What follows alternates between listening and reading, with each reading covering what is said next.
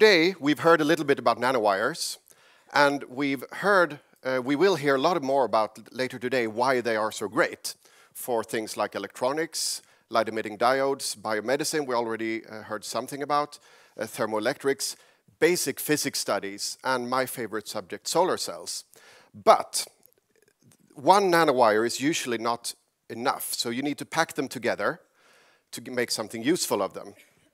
And if you pack a lot of nanowires together, this is how many you would fit on, for example, a red blood cell. Um, if you pack them densely together, there are about 10,000 of them uh, on, this blood cell. And if you then take this blood cell and put a lot of those onto the end of a hair, you get uh, uh fit about 100 blood cells on that hair. So now we have about a million nanowires if we pack them, pack them densely together. And to make something like solar cells on a big scale, we need a lot of those nanowires, obviously. So how do we make a lot of nanowires? Um, we need to mass produce them. So typically, usually nanowires are grown by MOVPE, metal organic vapor phase epitaxy, and that's a process that takes place in a crystal growth machine. Uh, it's a batch process. You load your wafer. Uh, you will hear more about how nanowires grow uh, later today, um, the details of that. You load your wafer, heat it up, add chemical precursors, grow the nanowires, let it cool down, take it out, uh, and that's a cycle time of at least 30 minutes. If you do it really well, you might be able to do it in 30 minutes. Today, it's typically two hours cycle time. So, and the largest machines today, they can handle maybe a handful of wafers 30 centimeters wide, uh, large. We don't have any of those machines at our lab. We, we grow maximum this size wafers. Um, so currently, uh, that's really not an alternative to, for large surfaces. Another problem with traditionally grown nanowires is that they grow rather slowly, on the order 1 to 10 nanometers per second. And that's about the same rate as a child grows from conception to adulthood. It's sort of the average, average rate of growth is about 3 nanometers per second, if you, if you calculate that. So that's rather slow. Um, so what we uh, do instead is to grow our nanowires in the aerosol phase, free-flying aerosol, uh, aerosol wires. Um, and the reason for doing this, first of all, there's a fundamental science reason for doing this, and that's to test, test some of the fundamentals of nanowire growth. So um, in a crystal, you have various directions that uh, you can define. Uh, one, uh, one, uh, and one of them is called the 111 direction. And that is typically the one where nanowires grow. We know this because um, no, almost regardless of what kind of substrate you grow the wires on, they will tend to grow in the 111 direction. So the question is, if you could take nanowires and uh, hold them in tweezers? Is there an intrinsic reason for them to grow in this 111 direction? So if you could just hold the uh, seed particle in a tweezer, in a pair of tweezers, and then let it grow, where, uh, what crystal direction would it have? So that's the, one of the fundamental science reasons for grow, doing this in the aerosol phase, because flying around freely is the closest we can get to actually holding them in a tweezer currently. Another reason for um, the, uh, for going to an aerosol is that this is a continuous process. We blow an aerosol through the growth machine uh, at a steady rate, and a continuous process is much easier to optimize than a, uh, than a batch process. For, you can think of a paper mill, for example, just feeding material through and uh, you, can, you can more easily optimize it, for, for example, for materials use. Um, another reason is that the, since they're free-flying, there is no crystalline substrate to, to take uh, into account, so we don't need to worry about how to, how to match the growth of the nanowires to the crystalline substrate. And on that note, uh, to deposit them, we can deposit them on anything. uh, we just make the wires and then we can put them down on basically anything or into a liquid. So the growth on nanowires works like this. We produce gold particles. Uh, we size select those gold, gold, particles. I could give a lecture on that uh, separately. We then add precursors, and then in a tube furnace, the wires grow at a rate of about one micrometer per second. So at this rate, your child would be fully grown in 36 hours. So that's, of course, a great advantage for, uh, for the production rate of nanowire material. And then we collect uh, the nanowires. So we have two versions of this um, uh, that I will talk about. First, I'll tell you about the single aerotaxy reactor. That is a single vertical reactor where you have full control of flows going in and out. Uh, you have uh, this is situated inside a three-zone furnace, the, the one that we have in the lab currently, for good temperature control of the growth zone.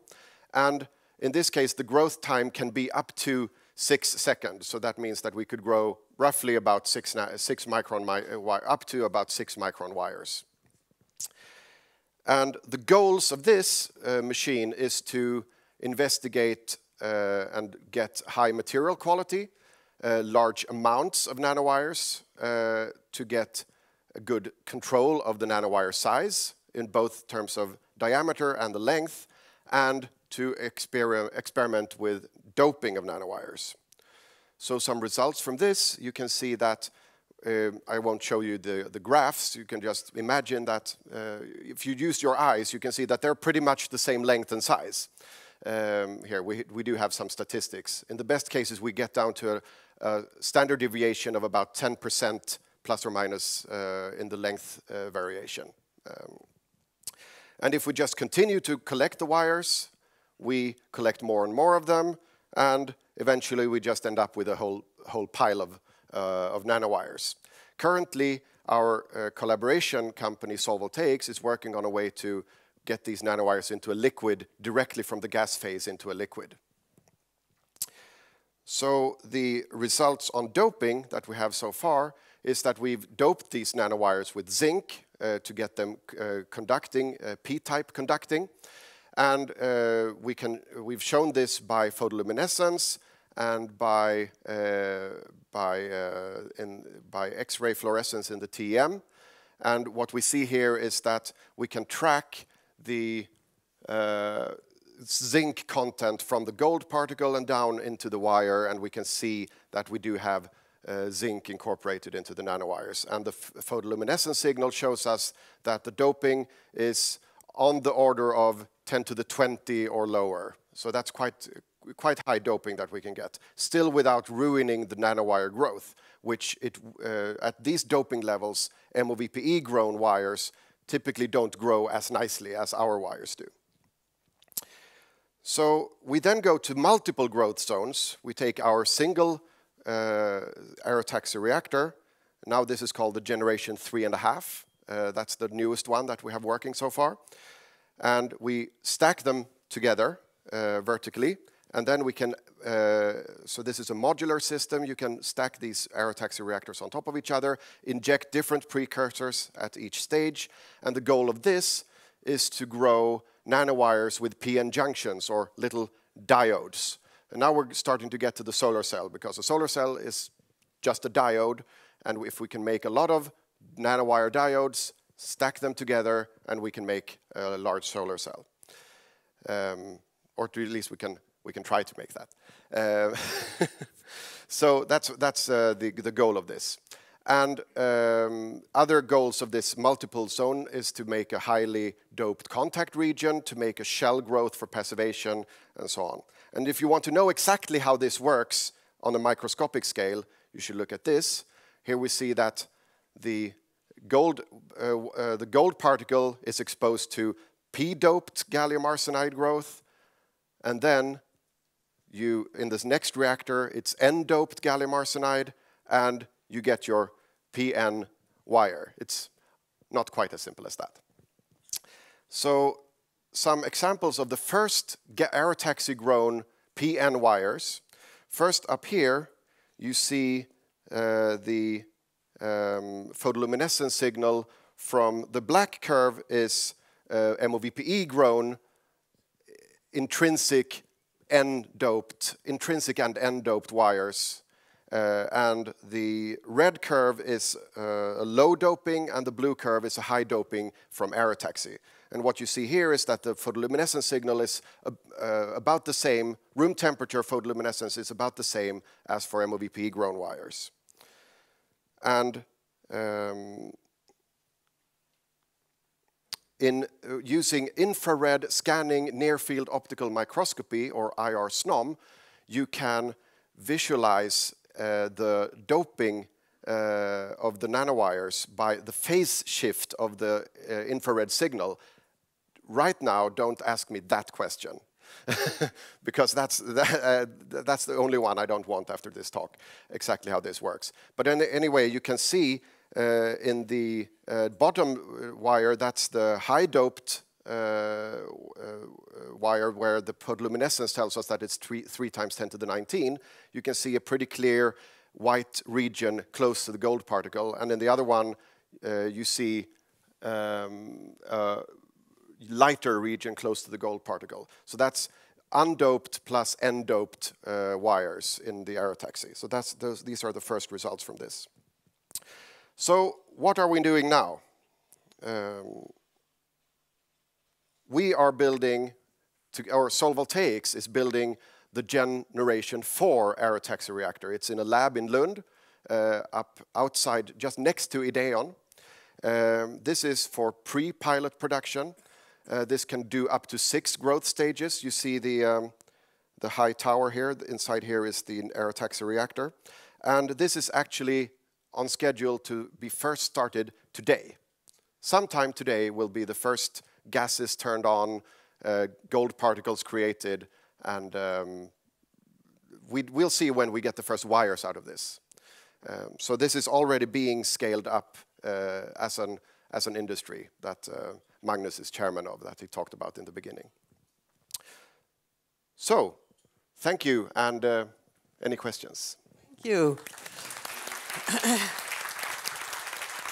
yeah, beautiful work on on the nanowires. Um, you you said um, you just have to assemble them. Yeah. If I envision that that slide with the whole fields of solar cells, mm. um, still, do you have any ideas how how to bring them from that pile that you showed in the SEM? Um, that mess um, to highly arranged structure? The, the, short answer is yes. Uh, but that is something that the, that, our, that the company Solvoltaics is working on completely internally without any collaboration. Uh, I know some of what they're doing, um, but I really don't know enough to tell you even if I was allowed to. Um, but um, um so Magnus is giving me the So, so yes, there is a really big group at Solvoltaics. And what I can tell you is that if this was a university project, there would be a lot of really good publications coming from that. But it, there is not, not that yet. So. Say that uh, what Martin talked about, it is a big challenge. And the question is one of the big uh, uh, concerns I had with the project from the beginning. But I, am actually quite pleased with the progress the team has made. And we do see a lot of interesting uh, results, which gives us uh, quite a great confidence that this problem will be solved. This is a great example of really where it should be, from science to business, as you said. So thank you very much.